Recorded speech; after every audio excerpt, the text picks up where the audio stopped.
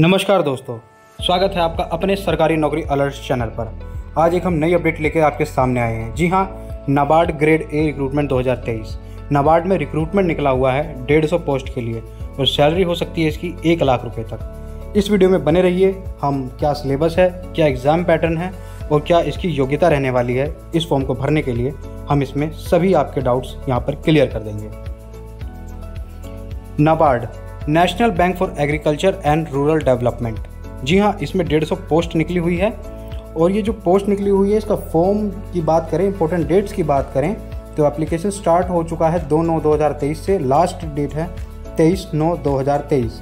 Phase first की जो exam date यहाँ पे गिवन है 16 अक्टूबर को आपका फ़र्स्ट फ़ेज़ का एग्ज़ाम हो जाएगा। एडमिट कार्ड एग्ज़ाम से पहले आ जाएगा तो हम शॉर्ट वीडियोज़ के माध्यम से जैसे आपको हमेशा अपडेट करते हैं, वैसे हम अपडेट आपको कर देंगे। तो चैनल के साथ बने रहिए।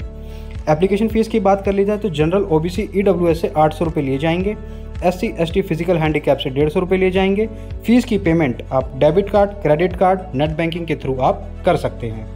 एज लिमिट्स की बात करें तो एज लिमिट्स आपकी कैलकुलेट की जाएगी एक नौ दो हज़ार तेईस। जी हाँ मिनिमम एज 21 साल है और मैक्सिमम 30 साल है। एज रिलैक्सेशन आपको इनके रूल्स के अकॉर्डिंग आपको मिल जाएगा। अब यहाँ पे बात कर लेते हैं एज रिलैक्सेशन की, जो रूल्स आपको मैं बता रहा था। इनके रूल्स हैं नाबार्ड के, हर ऑर्गेनाइजेशन के होते हैं रूल्स उसी के बिहाफ पे वो आपको रिलैक्सेशन देते हैं। बात करें तो तीन साल का ओबीसी एप्लीकेंट को यहाँ पे एज में रिलैक्सेशन मिल जाएगा। और पाँच साल का एज रिलैक्सेशन मिलेगा उन लोगों को, जैसे कि जो एस सी से बिलोंग करते हैं। एक्स सर्विसमैन जिन्होंने एटलीस्ट फाइव ईयर्स तक अपनी सर्विस दी है और emergency commission officer short service commission officers जिन्होंने इनिशियल पीरियड फाइव ईयर का कंप्लीट किया है और उन लोगों को भी यहाँ पे पाँच साल की छूट दी जाएगी। Children family members of victim जिनके 1984 में जो दंगे हुए थे, उन लोगों को भी यहाँ पे पाँच साल की छूट दी जाएगी। दस साल की छूट पर्सन विद फ़िज़िकल हैंडीकैप को जनरल में तेरह साल की छूट ओबीसी कैटेगरी में अगर फ़िज़िकल हैंडीकैप है, और पंद्रह साल की छूट यहाँ पे एस सी जो कि फिजिकली हैंडीकैप है, उनको यहाँ पर छूट मिल जाएगी। ये जो पोस्ट है, इसका नाम है असिस्टेंट मैनेजर ग्रेड ए डेढ़ सौ पोस्ट है यहाँ पे, और बात कर ली जाए इसकी एलिजिबिलिटी की तो बैचलर डिग्री आपकी रिलेटेड ट्रेड में होनी चाहिए साठ परसेंट के साथ। जी हाँ अलग अलग ट्रेड में अलग अलग वैकेंसीज हैं। जैसे कि जनरल की बात करें हम जनरल जो की वैकेंसी है, उसमें बैचलर डिग्री आपका मांगा गया है किसी भी सब्जेक्ट में। 50 परसेंट मार्क्स आपके एग्रीगेट होने चाहिए। और एस सी एस टी और P W B D category के लिए 45 परसेंट मार्क्स आपके होने चाहिए। या फिर आपके पोस्ट ग्रेजुएट में आपको मिनिमम 50 परसेंट मार्क्स आपने लिए हों, वो होने चाहिए। और S C S T P W D के लिए 45 परसेंट मार्क्स होने चाहिए। आपने पीएचडी करी है या chartered accountant cost accountant company secretary with bachelor degree और two year full time PG diploma आपने किया हो मैनेजमेंट में तो भी आपको इसी के अकॉर्डिंग 50 परसेंट आपको चाहिए जनरल कैटेगरी के लिए और S C S T P W B D के लिए 45 परसेंट आपके मार्क्स होने चाहिए। अगली जो है पोस्ट फ़ूड प्रोसेसिंग की, इसमें भी आपकी बैचलर डिग्री मांगी गई है फ़ूड प्रोसेसिंग में और फ़ूड टेक्नोलॉजी में 50 percent marks for general category S C S T P W D के लिए 45 परसेंट कैटेगरी और पोस्ट ग्रेजुएट आपकी फ़ूड प्रोसेसिंग में हो या फ़ूड टेक्नोलॉजी में हो डेयरी साइंस में, फिर भी आपके 50 परसेंट होने ही चाहिए जनरल कैटेगरी के लिए। और हमेशा की तरह S T S T P W B D के लिए 45 परसेंट मार्क्स होने चाहिए। जियो इन्फॉर्मेटिक्स जी हाँ ये एक नई वैकेंसी है। इसमें भी वही मांगा गया है। B E B tech B S C degree geo informatics में 50 percent marks general category S C S T P W B D category के लिए 45 परसेंट मार्क्स और आपने M E M tech M S C degree geo informatics में किया हो 50 percent marks के साथ और S C S T P W D के लिए 45 परसेंट मार्क्स होने चाहिए। नेक्स्ट वैकेंसी इंफॉर्मेशन टेक्नोलॉजी इसमें भी बैचलर डिग्री साइंस में आपकी हो या कंप्यूटर टेक्नोलॉजी में कंप्यूटर एप्लीकेशन में इंफॉर्मेशन टेक्नोलॉजी में 50 परसेंट मार्क्स आपके होने ही चाहिए।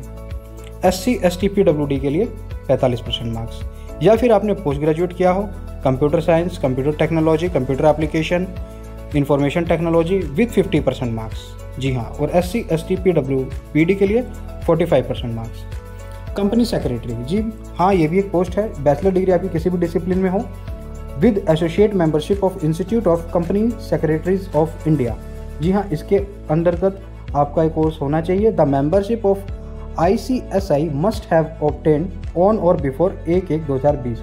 इस डेट से पहले आपका एलिजिबिलिटी पूरी होनी चाहिए। अगली जो पोस्ट है वो फाइनेंस डिपार्टमेंट में है बी बी ए फाइनेंस आपका हो बैंकिंग में हो बी एम एस फाइनेंस या बैंकिंग में फिफ्टी परसेंट मार्क्स आपके होने ही चाहिए।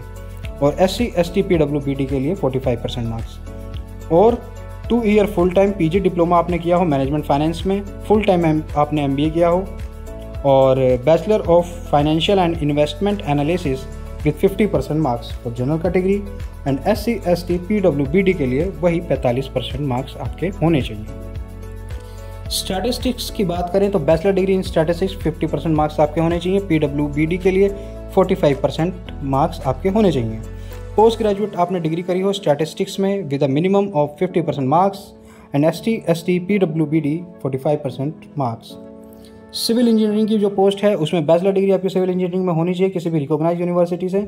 और यहाँ पे 60 परसेंट मार्क्स मांगे गए हैं। जी हाँ 60 परसेंट मार्क्स यहाँ पर मांगे गए हैं for general and OBC category S C S T P W B D के लिए 55 परसेंट मार्क्स आपके होने चाहिए। या फिर आपने पोस्ट ग्रेजुएट डिग्री करी हो सिविल इंजीनियरिंग में तो आपके पचपन परसेंट मार्क्स चल जाएँगे और S C S T P W B D के लिए फिफ्टी परसेंट मार्क्स चाहिए। Next electro engineering bachelor degree in electrical engineering from recognise university 60 percent marks होने चाहिए जनरल ओबीसी कैटेगरी के लिए। पी डब्ल्यू बी डी के लिए 55 percent marks होने चाहिए। पोस्ट ग्रेजुएट डिग्री आपकी आपने कंप्लीट करी हो तो उसमें पचपन परसेंट मार्क्स और पी डब्ल्यू बी डी के लिए पचास परसेंट मार्क्स होने चाहिए। फॉरेस्ट्री में भी यहाँ पे वैकेंसी निकली हुई है। बैचलर डिग्री फॉरेस्ट्री में आपकी कंप्लीट होनी चाहिए सिक्सटी परसेंट मार्क्स के साथ। और रिजर्वेशन वालों के लिए फिफ्टी फाइव परसेंट मार्क्स चल जाएँगे। पोस्ट ग्रेजुएट डिग्री में पचपन परसेंट मार्क्स वैलिड है और S T P W B D के लिए फिफ्टी परसेंट मार्क्स यहाँ पर चल जाएँगे। स्टैटिस्टिक्स में bachelor degree in statistics with sixty percent marks for general category S C S T P W B D के लिए वही पचपन परसेंट मार्क्स या फिर आपने पोस्ट ग्रेजुएट करा हो तो पचपन परसेंट मार्क्स भी चल जाएँगे और fifty percent marks P W B D के लिए। अब यहाँ पे हम बात कर लें, यहाँ पे एक टेबल मैं आपके लिए लेकर आया हूँ जिसमें डिसिप्लिन लिखी हुई है। और यहाँ पे कैटेगरी लिखी हुई है U R S C S T O B C E W S और टोटल वैकेंसी यहाँ पे कितनी है? पहली बात करें जनरल की तो 31 जनरल ये डिसिप्लिन है, इसमें यू आर के लिए 31 पोस्ट है एस सी के लिए 11 पोस्ट है एस टी के लिए 9 पोस्ट है ओ बी सी के लिए 18 है ई डब्ल्यू एस के लिए 9 है टोटल 77 पोस्ट हैं। कंप्यूटर टेक्नोलॉजी में बात कर ली जाए यू आर में 16 एस सी में 6 एस टी में एक ओ बी सी में 14 ई e में तीन और टोटल यहाँ पर चालीस पोस्ट हैं। फाइनेंस डिपार्टमेंट की बात कर ली जाए तो यहाँ पे यू में तीन पोस्ट हैं SC में चार ST में एक OBC में पाँच ई e में दो और टोटल यहाँ पर पंद्रह पोस्ट हैं। कंपनी सेक्रेटरी की बात कर ली जाए तो UR में दो पोस्ट है और OBC में केवल एक पोस्ट है। टोटल यहाँ पर तीन पोस्ट है यहाँ पे। सिविल इंजीनियरिंग की बात करें UR में एक पोस्ट है SC में एक पोस्ट है OBC में एक पोस्ट है टोटल यहाँ पर तीन पोस्ट हैं। इलेक्ट्रिकल इंजीनियरिंग की बात करें तो यूआर में एक पोस्ट है ओबीसी में एक पोस्ट है ईडब्ल्यूएसए में एक पोस्ट है टोटल तीन पोस्ट है यहाँ पे। जियो इन्फॉर्मेटिक्स में बात करें, दो ही पोस्ट हैं और दोनों ही यूआर में हैं। फॉरेस्ट्री में बात करें, एक पोस्ट यूआर में है और एक पोस्ट एसटी में है टोटल दो पोस्ट हैं। फ़ूड प्रोसेसिंग में बात करें यूआर में एक पोस्ट है और ओबीसी में एक पोस्ट है टोटल यहाँ पर दो वैकेंसी हैं। स्टैटिस्टिक्स की बात करें तो यूआर में दो पोस्ट हैं और टोटल भी दो पोस्ट हैं। मास कम्युनिकेशन या मीडिया स्पेशलिस्ट की बात करें केवल एक ही पोस्ट है और वो भी यूआर में। टोटल इन रिज़र्व कैटेगरी में 61 पोस्ट हैं एससी में 22, एसटी में 12, ओबीसी में 14 पोस्ट ईडब्ल्यूएस में 14 और टोटल यहाँ पे वैकेंसी जैसे मैंने आपको बताया डेढ़ सौ वैकेंसी हैं यहाँ पे। पीडब्ल्यूडी के लिए यहाँ पे सेवन पोस्ट का रिजर्वेशन है।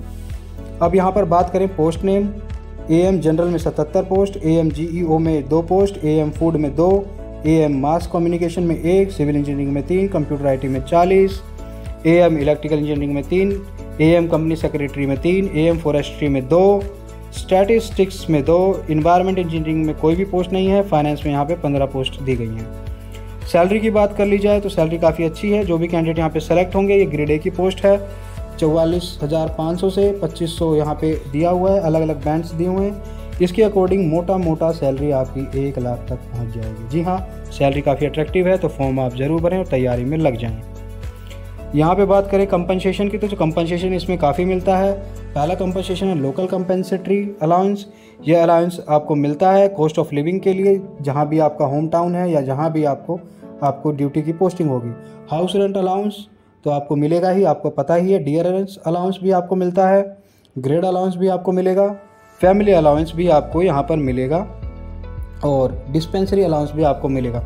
जो भी बेसिक अलाउंस किसी भी गवर्नमेंट डिपार्टमेंट में मिलते हैं, वो सभी आपको यहाँ पर मिल जाएँगे with an attractive salary of one lakh probation period की बात करें तो दो साल का प्रोबेशन पीरियड मांगा गया है। जी हाँ दो साल का प्रोबेशन पीरियड यहाँ पे कंपलसरी है। करियर ग्रोथ की बात करें तो बहुत ही ग्रोथ है यहाँ पे। इसमें कोई दो राय नहीं है। Assistant manager manager, assistant general manager, deputy general manager general manager, chief general manager, executive director और डायरेक्टर तक की पोस्ट है यहाँ पर। अब बात कर लीजिए एग्ज़ाम का क्या पैटर्न है। तो एग्ज़ाम का पैटर्न आप देख लीजिए। यहाँ पे पहला है टेस्ट ऑफ़ रीजनिंग। 20 क्वेश्चन होंगे 20 मार्क्स का होगा। इंग्लिश में बात करें 30 question 30 marks. Computer knowledge 20 question 20 marks. Quantitative aptitude, जी हाँ मैथ है ये 20 question 20 marks. Decision making 10 question 10 marks general awareness 20 question 20 marks eco and social issues with focus on rural India जी हाँ नाबार्ड को आपको पता ही है रूरल इंडिया के लिए फोकस करता है तो 40 क्वेश्चन इससे रिलेटेड आएँगे और 40 मार्क्स का होगा।